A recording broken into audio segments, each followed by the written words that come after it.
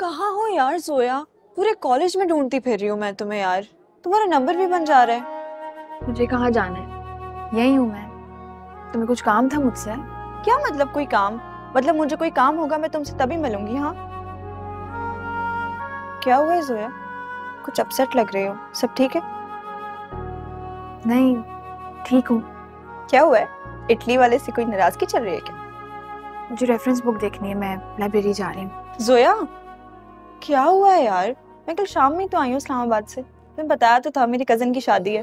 तुम्हें पिक्चर्स भी तो भेजी थी। तुम ऑफलाइन थी। तुमने देखी ही नहीं ना कोई रिप्लाई किया। कितनी बुरी बात है। मैं सोशल मीडिया इस्तेमाल नहीं करती।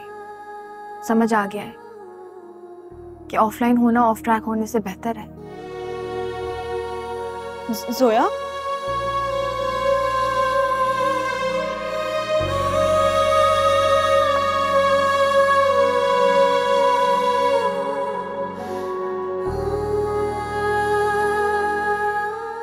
इनकार मत कीजिएगा। अरे शीरी क्या तकल्लुफ कर रही हैं? आज ही आपको तनख्वाह मिली है वो भी पूरी नहीं मिली। आज ही खर्च कर दोगी। घर का खर्च कैसे चलेगा? और इस दफ़ा तो पैसे भी कम मिले हैं। इतने मिल गए हैं कि कर्ज अदा कर सकूँ। इनकार ना कीजिएगा प्लीज़। आप आपने अपने बेटे से बात की? हाँ मैंने एक बार कोशिश की थी, लेकिन आप तो जानती हैं आजकल की औलाद को। माँ बाप की कहाँ सुनते हैं। जैसे ही मैंने बात शुरू की, कन्नी खा गया। सलीम साहब, मैं ये चाह रही थी कि आप अपने बेटे को जोया के बारे में सब कुछ सच सच बता दें।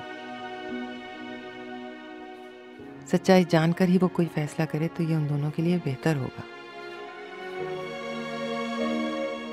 उस दिन पता नहीं रवानी में मैं क्या कह गई।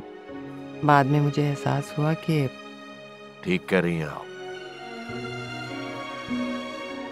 ये बहुत ज़रूरी है। और ये भी कि